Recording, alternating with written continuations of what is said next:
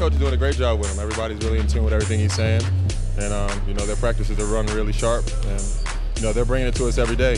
Oh, it's going well. Um, it's a great experience, you know, playing against the national team all the time, and you know, just playing against the best. I mean, it's no better way for my summer to end.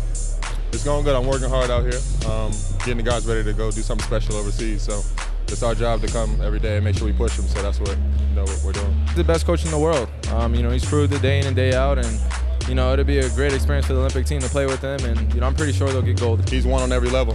So um, you know, why not put the best candidate for the job to do it? I mean, coach is great, and you know, he has the respect of all his players, which is really big. And you know, he's won it before, so there's no doubt I think they can win it again.